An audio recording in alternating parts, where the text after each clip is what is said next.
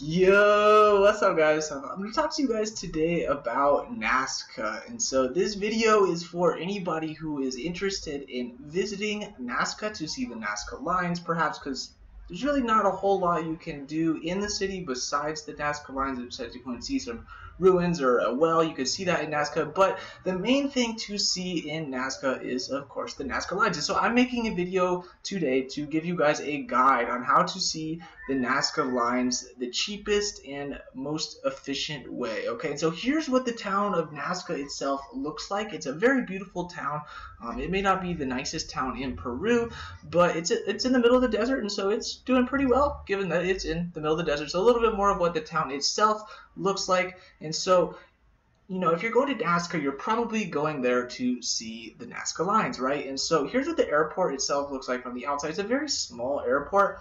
Um, I will talk with you guys and share with you guys how to get the best um, prices on the tickets for the Nazca lines. But I'm just showing you guys some pictures starting off with that, okay? So a little bit, there's what the inside of the airport itself looks like. This is what you're going to have to wait in while you are waiting to go up in your airplane, okay? And so there's lots of different companies, as you can see.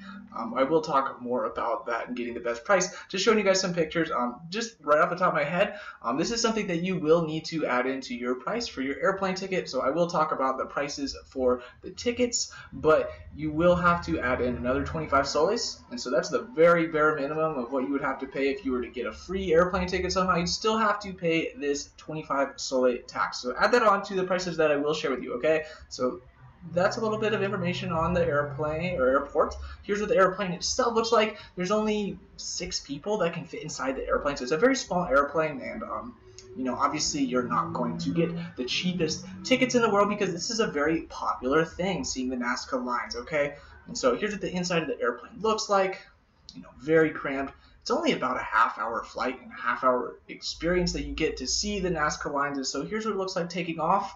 Okay, so here's actually some of the lines itself. Okay, so here's the whale. I'm going to show you guys uh, specifically which ones you get to see in a second here. I'm just showing you some a rundown of what it looks like. Okay, and so here's actually a line right here. You cannot see it. One of the things that is um, kind of frustrating about the Nazca lines is that you can't really take good pictures unless you got a good camera, a really good camera. You're gonna have a difficult time taking pictures because these are ancient guys. They don't even know how old these lines are. They actually didn't even discover them until somebody was in an airplane and flew over it in 1939, something like that, that year. Okay, so it was really recently that these were actually found. Okay, and so like I said, you can't really see them unless you see them from the sky, and they didn't even discover them until 1930 something. Okay, but if you're gonna go, don't bring a camera. That's I guess the gist of what I'm saying. Unless you have a really good camera, you're probably not gonna be able to take pictures. You're, they're gonna look like this, okay? and so here's that same um, same uh, line closer up. This one is what they call the astronaut. Very interesting. Same one again.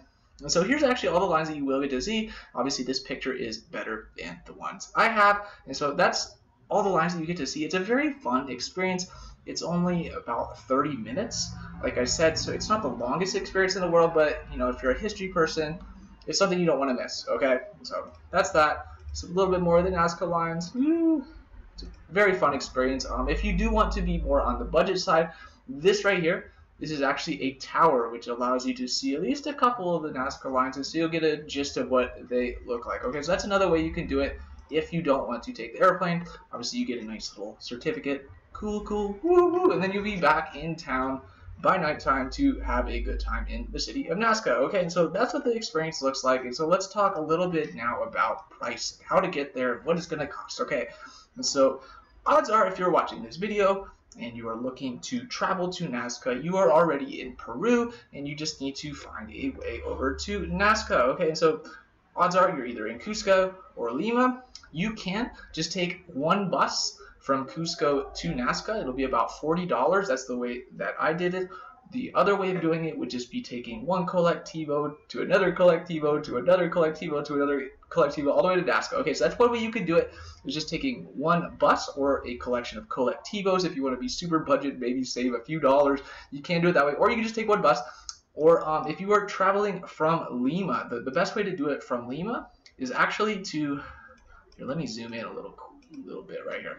Okay, so if you're traveling from Lima, um, the, what, the way you're going to do it to get the cheapest price is you're just going to take a colectivo from Lima all the way to Ica. And Ica is probably a place that you might want to stay the night at. I don't know, but it will be about 30, 30 soles, 30 to 40 soles for your colectivo from Lima to Ica. Okay, so when I did it, I actually was traveling from Cusco to Nazca, to Ica, to Lima, so I did it backwards. So I'm not exactly sure what the price would be going this way for the colectivo, but that's a good way to do it, okay? Okay, and now prices, the airplane ticket. Okay, so if you are paying in dollars, you're going to have to pay about 130 US dollars. Okay, so it's a pretty good price. You might be able to get it for as low as $100 or $75, but like I was saying, um, there's a lot of people who are interested in the Nazca lines, and so any given day, let me go back to the airport and show you guys what I'm talking about. Any given day, in my experience, this is what the airport will look like, okay? And so as you're walking around the airport, um, you'll see all of these different companies, okay? And so what they're actually doing is selling airplane tickets, okay? And so if you want to get the cheapest price on your Nazca Lines tickets, you do not want to buy them online. You do not want to buy them in another city. You want to go straight to Nazca, straight to the Nazca airport, and then you will have the most competition between the people who actually sell them at the Nazca airport without the middleman competitors. Okay, so like I said, 75 to 130 depending on the day that you want to go, and that's in dollars. Okay, so in soles 250 to what 400 in that range okay? So that's the Nazca lines. Um, that's the cheapest way to see them. And like I said if you are traveling um, and you are a photographer you want to make sure that you have a really really really good camera or just enjoy the ride, okay? Because odds are you might not be able to see them as well as you would, okay? But that's that. That's the Nazca lines. Um, if you guys have any more ideas, any more comments in how to make this cheaper or better, please add them into the comments below. I just want to help other travelers to have a good experience, okay? So that's the cheapest way to see Nazca, and those are all the tips I have for you. So I hope you guys are having a good day. Peace.